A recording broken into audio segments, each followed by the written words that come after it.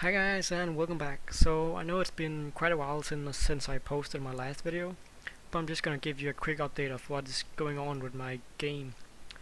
Um, so first off, I changed the way the server and the client talks with each other. It used to be like uh, there was one client and one server, and they would just communicate. But now I've, I've made it made it so the server is not um, a player in the game, but it's just running uh, for for itself and then you can have multiple clients connect and then those clients will be in the game. So yeah let's try and show you how this works. So you just start off by running the server and you get this little server started message and then you can run the game itself. So now you get this little interface where you can join a server or host a server. This host server function is not uh, quite finished yet. I'm still working on it, so I'm just going to use the join server for now. Then you can choose between localhost and some random IP. Um, so I'm just going to cho choose localhost. Um, this is the standard um, standard for when I create my server. This is how I created my server just just before. So I'm going to choose that. And as you can see, you can choose between human and zombie. So I'm going to pick human first. So as you can see, I have a portal gun. and this portal gun doesn't actually shoot portals, it shoots blocks. You can delete those blocks again.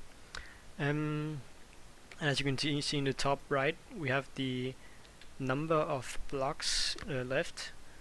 And when you run out, you cannot place any more blocks, and when you delete them, you get them back and at the top left we have the number of shots left. You can see you can switch between the gun or the block gun um, and the AK-47 and this is gonna be used for shooting zombies.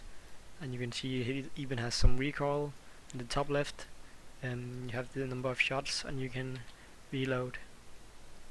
So that's pretty cool, cool. so I'm going to now try and connect as a zombie. I'm just gonna run this again and go join server localhost and then a zombie. So as you can see we have a crowbar uh, and this is supposed to be used to attack the humans and eventually kill them. But right now uh, I haven't added, added any kind of uh, um, collision or any kind of attacking. You can you can use it but it, it will not hurt the, the player. And same for if you shoot the zombie here. It will not do anything but that is um, some of the next things I'm going to be working on. Um, I just wanted to show you that also I can be running free clients now. Um, so enjoying the server again as a human. We can have two humans and one zombie. Um, and we can see each other's blocks. Also another thing I'm working on is so you're able to delete each other's blocks. Um, it shouldn't be that hard, but I'm ran into a few problems, but nothing that won't be fixed. And then the last thing I'm gonna going to add, well, last thing for right for now, um, or the next thing I'm going to add is the uh, chat room for um, for the game. Should should obviously be a chat room for humans, one for zombies, and then an all chat so you can communicate. I'd imagine it will be like any other FPS chat room where you just press enter and uh, some you can write in the text and whatever. So yeah, that's how the game looks and that's what I'm going to to add to it next. So yeah, see you guys next